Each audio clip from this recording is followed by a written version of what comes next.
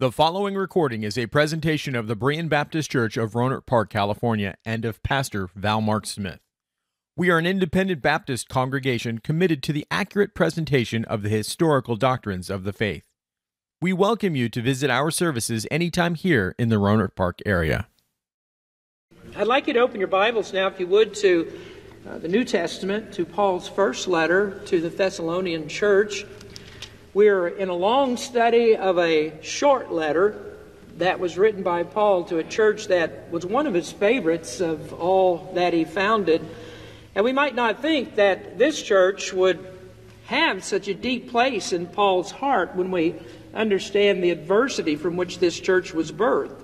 Thessalonica was an unwelcome place. Paul was forced out of town. He was run out of town with pursuers hotly behind.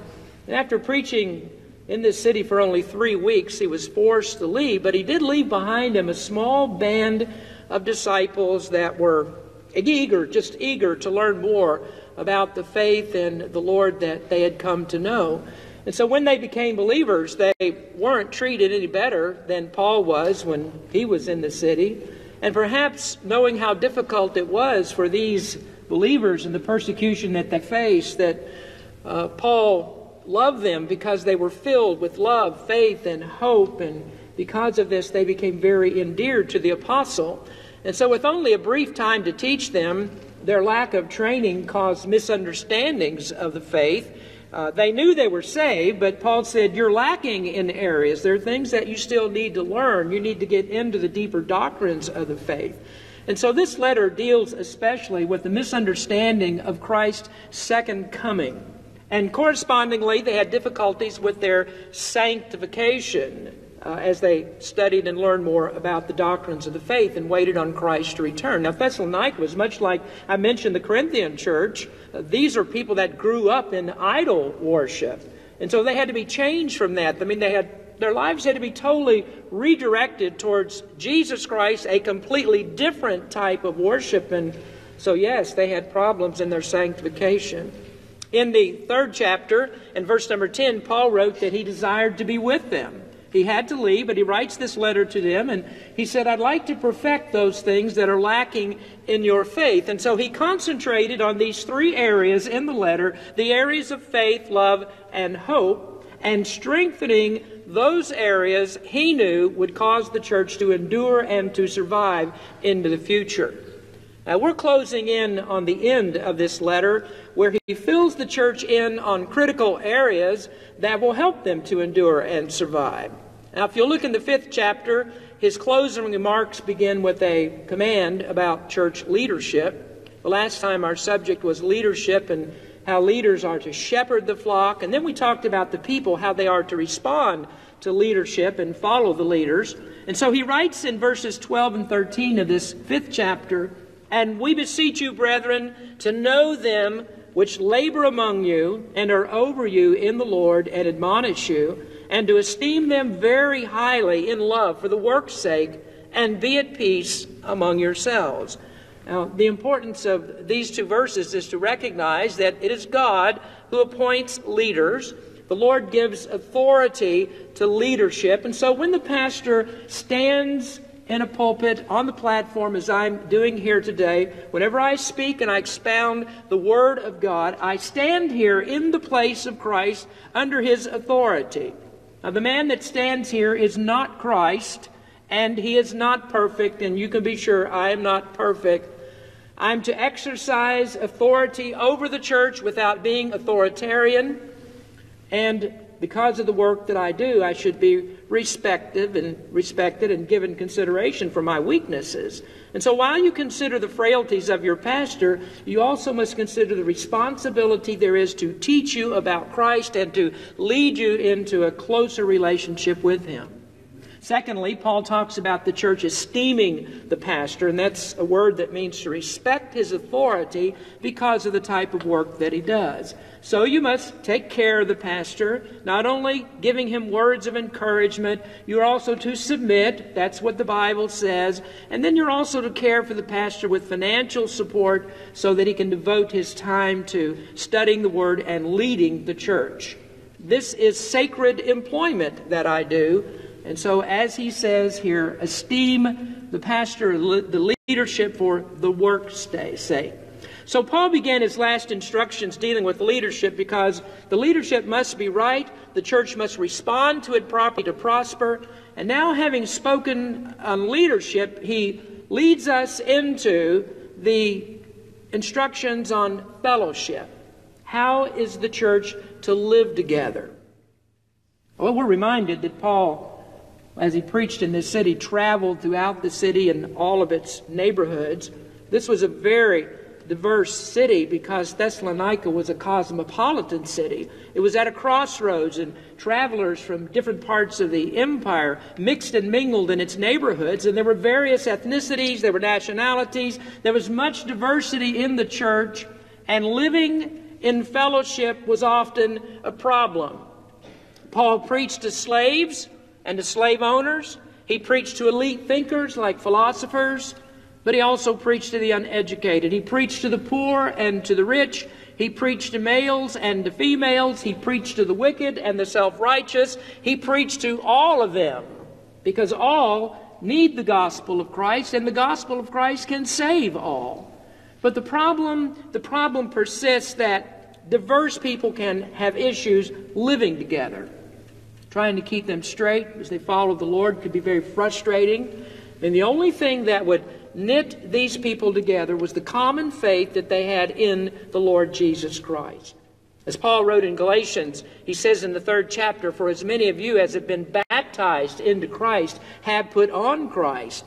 There is neither Jew nor Greek, there is neither bond nor free, there is neither male nor female, for ye are all one in Christ Jesus. And that's what I want to talk to you about today. How do we live and work and fellowship together in the church?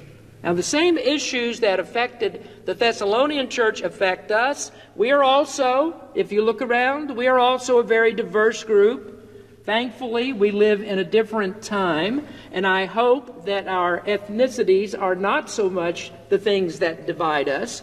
But still, I wonder and I'm amazed at how we are so diverse, and yet, as the church of the Lord Jesus Christ, we desire the same things. We live by the same principles, we share the same faith, and we all want the same things for our families.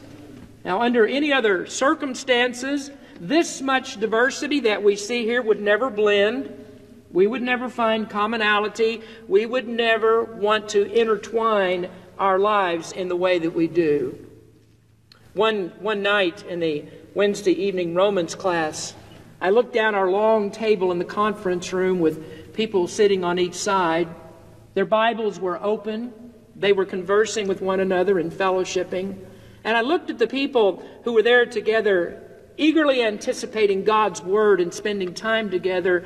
And I sat for just a moment wondering why each week we are there. What brings us together?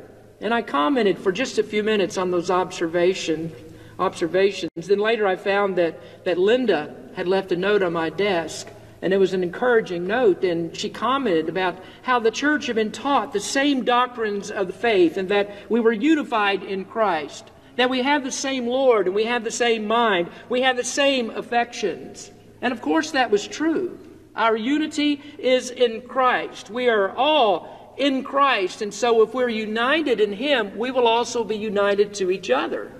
Now, listen, folks, it's, it's plain as these verses that Paul wrote in Ephesians 4. He wrote about the unity of the Spirit and the bond of peace. And there he says there is one body and one Spirit, even as ye are called in one hope of your calling, one Lord, one faith, one baptism, one God and Father of all, who is above all and through all and in you all.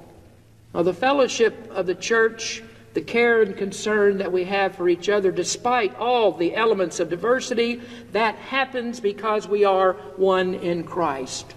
We are united in Him, and as we strive to be more like Him, we grow closer to each other. So it's the thing that makes it hard for us to leave each other.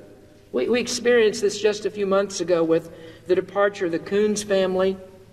And it was unity in the faith that caused Paul to agonizingly long for these people in Thessalonica and desired to be with them. He hated to leave converts behind as he had to go on to start other churches. Well, while we're unified, uh, while we are unified and, uh, and while we are so much alike because of Christ, the diversity that we have in the church is also valuable.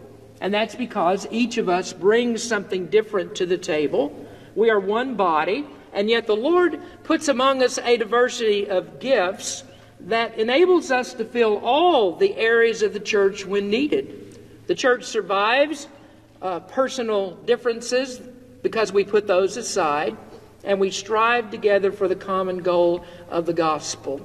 And so, next in his parting words for the church, Paul speaks of their fellowship. And we are not so naive as to believe that we can live without trouble. We are saved, but we're saved sinners. Our flesh is still very, very hard for us to overcome, and sometimes our individualism gets in the way. That rises at times and causes problems in the body. Now, in verses 14 and 15, the apostle speaks of our fellowship. Now, we exhort you, brethren, warn them that are unruly, comfort the feeble minded, support the weak, be patient toward all men. See that none render evil for evil unto any man, but ever follow that which is good, both among yourselves and to all men. Now, I believe our first order of business in analyzing and applying this text is to reflect on the purpose for us being here. The number one ministry of the church is the exaltation of Christ. And the number one method of doing this is to preach the Word. The number one purpose in all forms of worship is the glory of Christ. And so, if there's anything that stands in the way of the glory of Christ, that must be overruled, because anything else is wickedness. The Apostle John wrote 1 John 5 19, and we know that we are of God, and the whole world lieth in wickedness. Do you think about that just a minute? We are of God, and we were once part of the world's wickedness, but we aren't any longer. We're different. Christ made us different. And as Paul wrote in Romans, he said, How shall we that are dead to sin live any longer therein? Our lives are lived according to Christ's holy character. And so in that Wednesday night class, I could look down that table and I could see diverse people with all having the same thought in their minds. How can we learn here? How can we apply the Word of God so that we can be more like Christ? And as I look at that table and those people on each side, I wonder why isn't there more of the church there? Why aren't there more of God's people there doing the very same thing? Because it's the fellowship of believers like we have in that class that produces a tightly interlocked body of believers. Now, instead of doing what the wicked world does and choosing a thousand other things that we could do, we choose to fellowship around the Word. And you're here on this Sunday morning for the same. You choose to be here when there are a hundred forms of recreation that can occupy your time on a Sunday. And so, because of Christ, you will sit here and you will listen to this message. Because of Christ, you'll not complain when it reaches 12:15 and I'm not quite done. No, you're not quite that sanctified yet, are you? Uh, I expect we will have some cl- complaints. Well, because of Christ, Many of you will take only a few minutes to eat this afternoon. The choir members will rush back here for practice. Because of Christ, many of you will be here at 4 o'clock to get into the Word again. See, the proof of the power of the saving uh, ability of Christ and what He does for us is, is in your life, there is a demonstration of a change of desires so that this place becomes our place. And these people in the church are the ones that you desire fellowship with more than any others. This is what salvation does. It changes our focus so that the people of God want to be with the people of God. We're weary with the world, and this is where we find respite from the weariness of living in a sin cursed environment. A bit of heaven, I would say, is experienced when we come here, when we're moved in song and prayer and preaching the word to think on Christ. Now, we notice in the text that Paul leans, as he leans into this subject of fellowship, he appeals to a certain sense of decorum for the church. How do people act? How do they maintain good relationships? How do we stop disruptions in the body of Christ? If we are to live together, we must be in agreement to discipline those who interrupt the fellowship. So, number one, this is what I want to talk to you about is the discipline of the church. He says, Now we exhort you, brethren, warn them that are unruly. Now, if you would, for just a moment, look into the second letter of Thessalonians, chapter 3. Here the apostle wrote in verse number 7 he says, For yourselves know how you ought to follow us, for we behave not ourselves disorderly among you. And then he goes on in verse number 11 to say, For we hear that there are some which walk among you disorderly, working not at all, but are busybodies. Now I want you to concentrate on two words here for these next few minutes the words unruly and disorderly that we find in the second letter. Now, Paul used himself as an example. His life was orderly, he was principled. He conducted his secular business in a way to enhance his spiritual business. And his purpose in addressing the unruly and disorderly is revealed in that 11th verse of 2 Thessalonians chapter 3.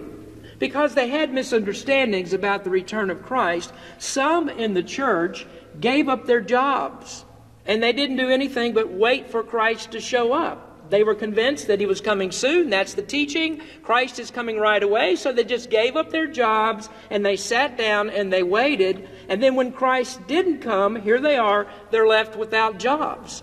But they weren't left without something to do. And so instead of doing their own business, they got into the business of others. And when they ran out of resources, they expected that church people would take care of them while they went about talking and gossiping and going from house to house and just stirring up trouble. Now, let me say first that, that church people need to take care of church people. When one of us is down and out and we have a problem, then if we can help, we ought to. But at the same time, there are too many that look at the church as the welfare agency. You know, I regularly get people who have nothing to do with the church. They call me, they want money, they want to pay electric bills, they want to pay phone bills, they want to pay their cell phone bills. I even had a call one time where a lady said, hey, You know, I really need some cat food. Could you buy me some cat food? And you know what I said to her uh, about that? So people will ask for money, but they don't have anything to do with the church, and they won't come to the church. They won't even show up here except to pick up their check. Well, we do want to help people. And, and as a church of the Lord Jesus Christ, we are concerned about people in our community, but we must understand how that concern is to be used and directed. It was never Jesus' goal, and it was never the apostles' goal, and it was never the church's goal to help people apart from the main goal of giving people the gospel of Jesus Christ. Now, inside the church, though, it's different. We're a body that works and lives together, and yet there needs to be some decorum about our business. Now, the problem in the Thessalonian church became so acute that in the second letter, Paul said, I told you when I was there, if a person will not work, neither shall he eat. That's in verse number 10, in case you missed it in 2 Thessalonians 3. If you don't work, you don't eat, Paul said. Well, that sure spoils the welfare system, doesn't it? Since when was work required to eat? That's a novel concept, isn't it? People that don't work, though, will often end up just as Paul describes here. They're busybodies. They don't have anything to do. They have no work, and so they just stir up trouble. And so, for us to live together, there must be discipline. No matter the organization, there are certain rules to be obeyed. Order must be maintained to accomplish the purpose of an organization's existence. And so to operate without proper procedures is chaos. That's confusion. And it brings about the destruction of that organization. And it's no different in the Church of Christ. The rules that we follow are not man made, they're perfect rules because they are divinely inspired. God gave these rules, and He is the perfect lawgiver.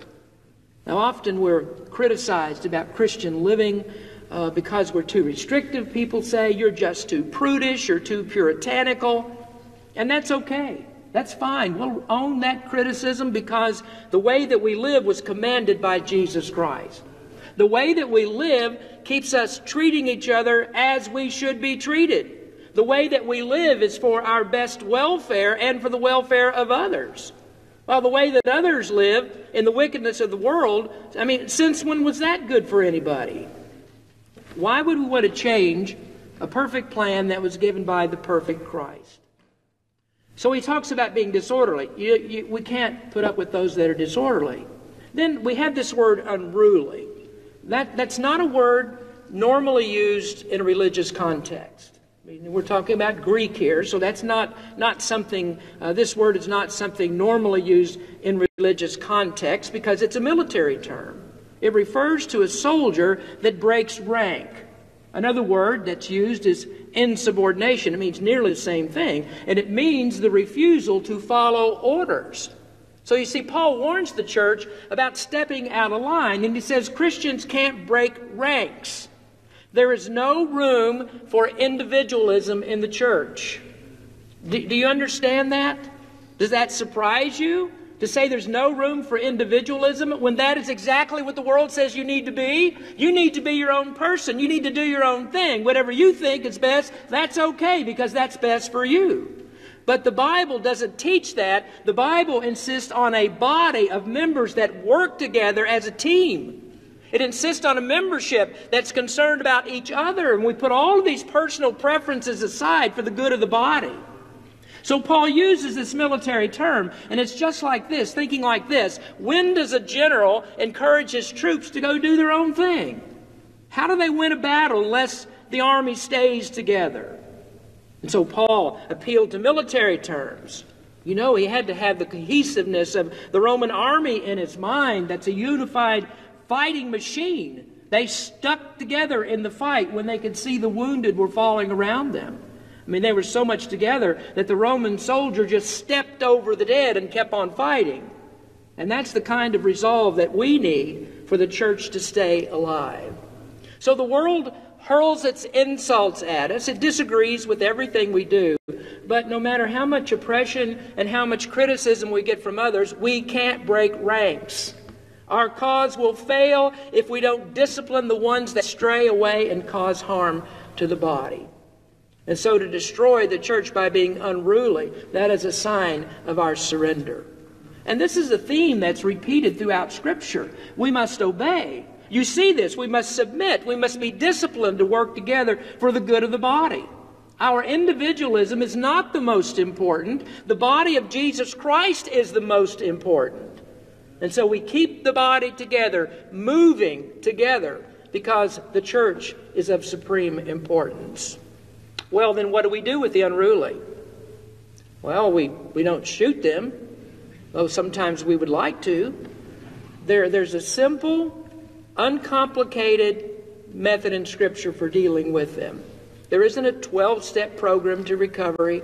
Paul's simple plan to recover the wayward just happens to be Jesus' simple plan. Now, before we get to that, Paul said, warn them. And he doesn't, he doesn't mean this in the sense that you tell them if they don't straighten up, you're going to cut off their head. Oh, this is Christianity, not Islam, so we don't cut off heads. And if I could be a bit colloquial with you, it doesn't mean cut off your head, but it does mean knock some sense into them. Warn means to admonish, it means to strongly encourage them, urge them, not by putting them down, not by judging, not by ostracizing and immediately pushing that person out, but it means to warn them of danger, to warn that souls are in danger for harming fellowship. But we see this word discipline, and that's like a nasty word today, isn't it? Discipline has so many negative connotations. I mean, people think discipline, and the first thing that comes to their mind is beating up on children. I mean, that's what we do. If you're a disciplinarian as a, as a parent, well, that just means that you just beat up on your kids all the time. Well, the Bible and the word discipline doesn't mean that at all. In fact, it's not negative, it's a very positive thing. It means simply, the word comes from, from uh, uh, the idea of just helping people to learn. It means to teach as a means of keeping order. Now, the unruly are those that step out of line with the teaching, so they need to be disciplined to get back into the ranks. Now, back to this simple plan of discipline. Are you aware that Jesus and the apostles were not like the church growth gurus that you hear from today. Nearly every week, I, I, I get an email from one of these church growth people about strategies for growing the church. You might remember, oh, some months ago, I told you about a, an email I received and a flyer that I received. And it was a testimonial from pastors who had hired a Christian comedian. And they said, well, the Christian comedian came and the pews in the church were filled. And so their message and their advice was you need to have this, this Christian comedian come to your church too, and then your pews will be filled, and then your church will grow. Well, I looked for that in Acts and I couldn't find it. And I looked for it in the Gospels, and as far as I could tell, Jesus didn't tell jokes. And so I look for that in the Bible, and I can't seem to find so many other strategies that they have. I can't find a light show. I can't find a performance band.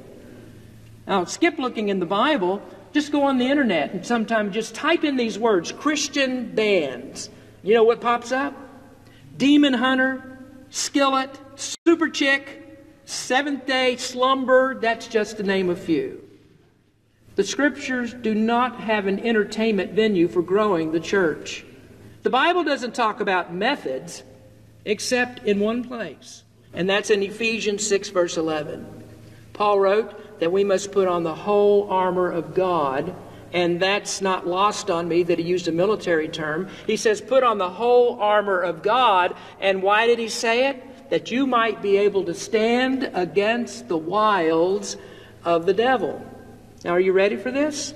The wiles, he says. The Greek word there is methodia, the methods of whom? The devil. Jason. I mean, the devil. I mean, if, if, you want, if you want methods, the devil has plenty of methods. And his methods will destroy the church. Oh, the church might grow. That's what they promised. The church will grow, and it does. But who does it grow with? It grows with the devil's crowd, not the disciplined saints of God. So, how did Jesus and the apostles teach that the church would grow? Well, the strategy for church growth was to remove everything that hinders growth. The gospel will grow the church if all the hindrances to the gospel are removed. And that means people and it means methods. Do you know what often stands in the way of the church? People. When people break ranks, they cause trouble, and then church growth is hindered. A few, uh, few years ago, I was looking for churches that we could fellowship with. And I went to a conference that was a denominational fellowship. And interestingly, the theme of this conference was conflict resolution. And that was okay, except there was a conflict in the conference that was about conflict resolution. Many were in conflict about the speaker who was speaking on conflict resolution. So I'm attending a Baptist conference, and I come to find out that the man who was teaching was a Presbyterian. And so immediately there was conflict. I mean, there were people there saying, well, we don't want to hear from a Presbyterian. What's a Presbyterian doing instructing Baptist pastors? And so there was a conflict in the conference about conflict resolution. Anybody see the irony in that? And, and my reaction was, well, why would I want to bring our church into this fellowship when, as a visitor, all I can see is conflict?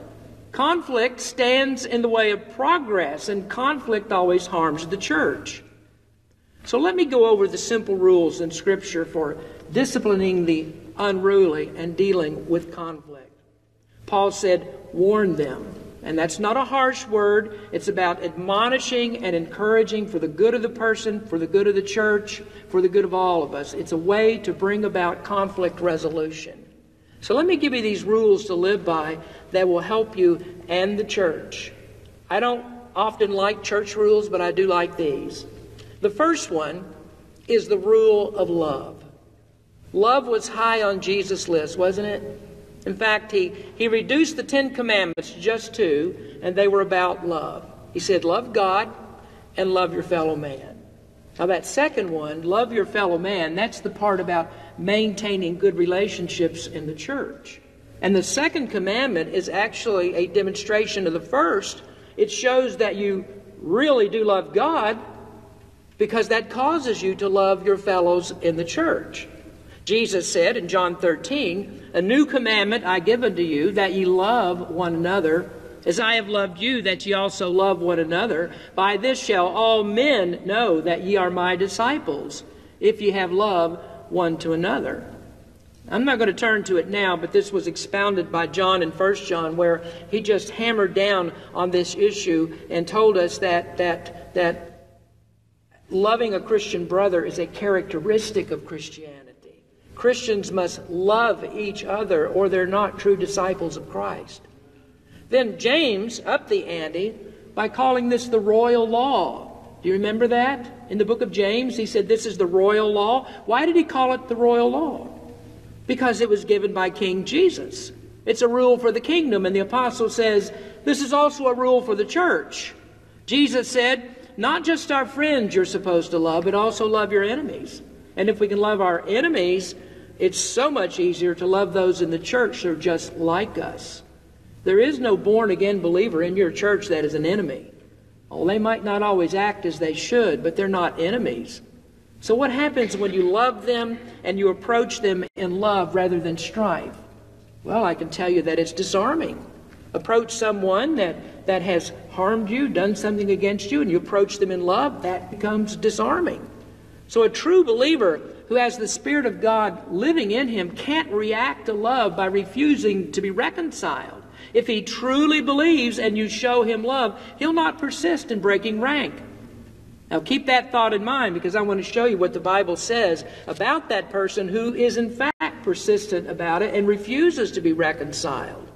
Anger, jealousy, strife, these are conflicts that are resolved in Christian love. So, what are you to do? Ephesians 4:31 let all bitterness and wrath and anger and clamor and evil speaking be put away from you with all malice. So the first rule is love. You can't do better than to walk in love. Now, the second rule is the rule of confession. Are you out of line, or is there someone else that's out of line and has broken rank? Do you hurt the harmony of the church? Go to the one that you offended and confess, or go to the one that offended you to secure their confession. I mean, what we must heal the differences between us. Now, I find this interesting that the first command given by Christ for the church, I mean, the first time that he mentioned the church, uh, uh, teaching the church, it was in the area of discipline. His first command was about how to reconcile an offending brother. Now, you, you, look in the scriptures, you'll find that the very first mention of the church is in Matthew 16, 18. That's where Christ promised that the gates of hell will not prevail against the church. Then the second mention comes two chapters later in Matthew 18, verse 7, where Jesus said, If your brother offends you, go and tell the ladies' prayer group. No, no, but that's the temptation, isn't it? When someone offends you, go tell somebody. Go complain to somebody about how much you were hurt and how it isn't fair and, and how you're so innocent and get everybody on your side. No, don't go tell anybody. He says you go to that person one on one and tell them that you are offended and you go in love with the intention of making it right. Matthew 18, 15. Moreover, if thy brother shall trespass against thee, go and tell him his fault between thee and him alone. If he shall hear thee, thou hast gained thy brother. Go to him alone. You don't tell anybody. And if you're the one who offended, then be the first to say you're sorry. Offer an apology. Many conflicts among lo- loving brothers are resolved without anybody knowing, without anybody being involved. Well, then you ask, well, what happens if that didn't work? Well, Jesus outlined that as well. He said the next step is to take somebody with you. Go again. Take a witness with you and show them that you're trying to make things right. Get somebody to testify to your good intentions, and then perhaps that friend will help you to resolve the conflict. Now, the third step is when the church gets involved.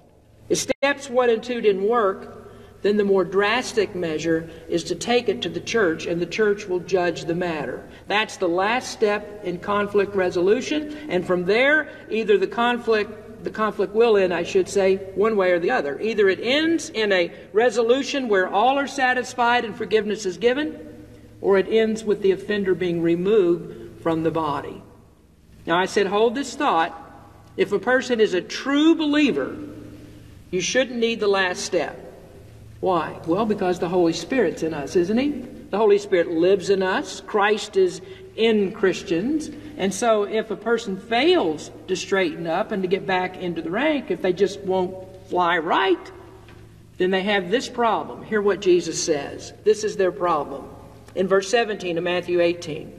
And if he shall neglect to hear them, that is, the people of the church, or the person that you took with you, rather, he says, Tell it unto the church. But if he neglect to hear the church, let him be unto thee as a heathen man or a publican.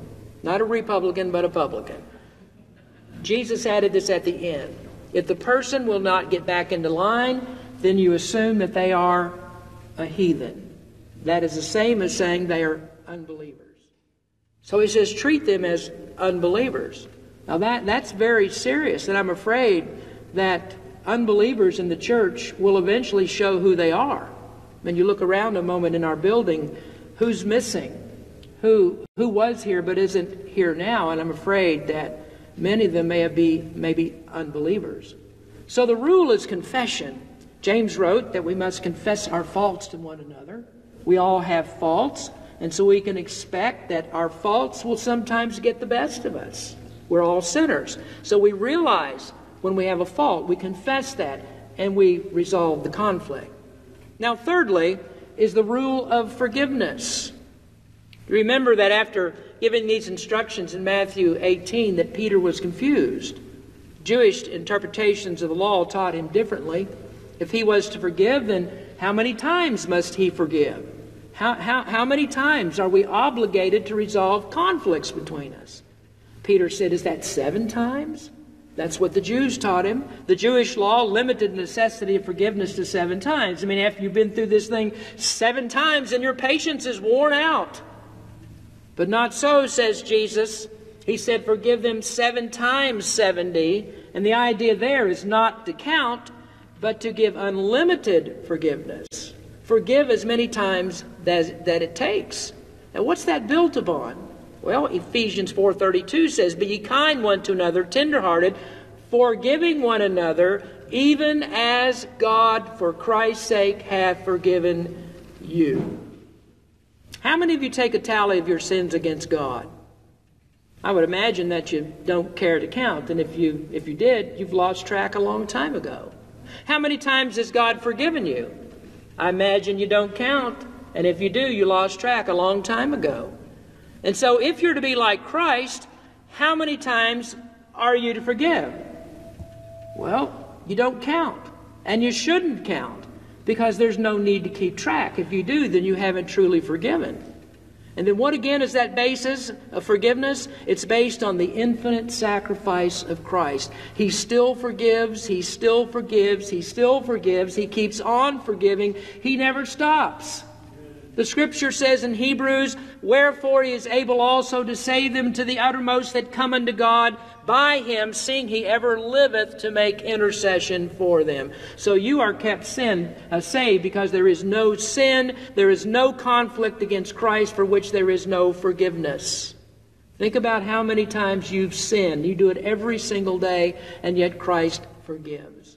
Christ is eternally alive to keep you eternally alive. And so you have no sins that are charged against you because there is limitless forgiveness. Now you see, Paul opened this up to the church at Thessalonica because they're a diverse group. Conflicts were inevitable, and they can either resolve them or they can devour each other. Galatians 5, he wrote, For all the law is fulfilled in one word, even in this Thou shalt love thy neighbor as thyself. But if you bite and devour one another, take heed that ye be not consumed one of another. Now, Paul knew that this would be a problem in Thessalonica as well as in the Galatian churches because all churches have this problem. And as the church matures, it should be less and less a problem. And so, for the good of you and for the good of the fellowship, for the good of you as an individual, keep the rules of discipline. Stay in the ranks. Let's, let's behave ourselves decently and in order. That's the command of Christ. So, once again, as last week, we have a very practical lesson from Paul. It's not flashy. There, there aren't any, there's no smoke and mirrors here. There's no magic tricks involved. There's not even a rollicking comedian here. There are no fog machines. This is right to the point. It's biblical and practical. Now, my last appeal to you then is to consider the value of church membership. Christ loved the church and gave himself for it. To be like him, you must also love the church. We say, what is the church? The people. You must love the people. The one who loves the people loves the church. How you treat each other is the way that you treat Christ. Do you remember Jesus said that? The way that you treat other people is the same in your church, it's the same as the way that you treat me. So, if you're to be like Christ, then you must love his people as he loves them. I thank God if his favor is upon you, that you're a member of Berean Baptist Church, or if you're a part of the Lord's church in this world.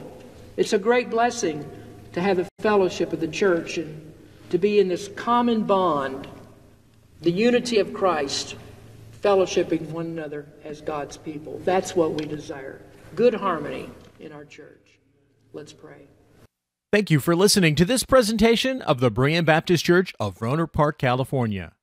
If you would like further information about our church, please feel free to call us at area code 707 584 7275 or write to us at Berean Baptist Church, 6298 Country Club Drive, Rohnert Park, California, 94928.